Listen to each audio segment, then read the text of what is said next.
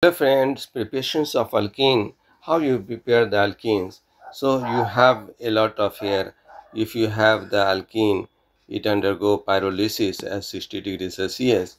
And if you have the triple bond, it react with the sodium liquid ammonia, that is the Birch reduction, and palladium calcium carbonate, barium sulfate, and Lindlar catalyst.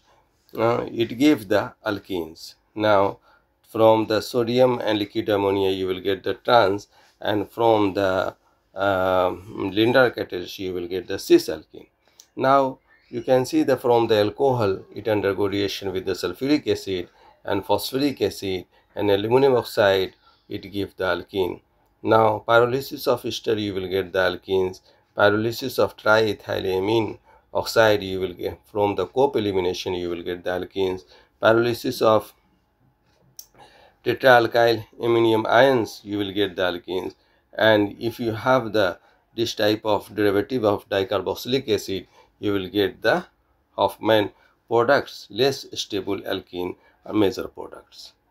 Now you can see the preparation of alkenes. If you have the aldehyde uh, by Wittig reaction you will get the alkenes. If you have the dialkyl copper lithium it react with the alkene chloride you will get the alkene if you have this uh, RCH2CH2X, it undergo reaction with alcoholic KOH, you will get the alkenes. If you have these two sub substrate, it react with the zinc dust under heating, you will get the alkenes. If you have this dial halides uh, compound, it undergo zinc dust and higher alkene, you will get the alkenes. Now, properties of alkene. If you have the alkene, it undergo reaction with the H2, it give the alkenes. Undergo reaction with the X2, you will get the dialkyl alkene if you have this uh, HX you will get this alkyl halide. If you have the H2 and H2 no rearrangement you will get this alcohol.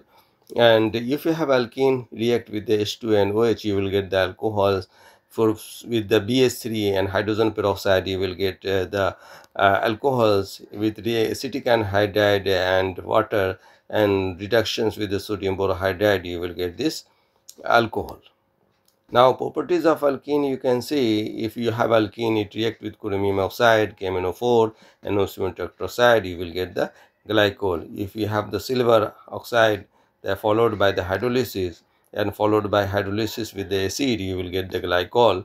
Uh, it react with the carbonyl compound you will get this uh, um, carbonyl compound with the alkenes. Now another side you can see the reaction with the Markovnikov rules, you will get these products. If you have the diazomethane, it gives the cyclic addition of the carbenes and with uh, the Cl2 at 500 degrees allylic substitution occurs with the NBS and combustions it gives the carbon dioxide and water.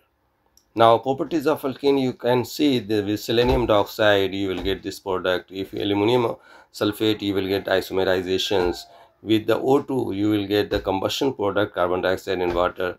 With the CO and H2 you will get the aldehyde. With the CO and H2 will get the aldehyde derivative with phosphoric acid and C carbon monoxide and water. You will get this product and lastly you will get the acid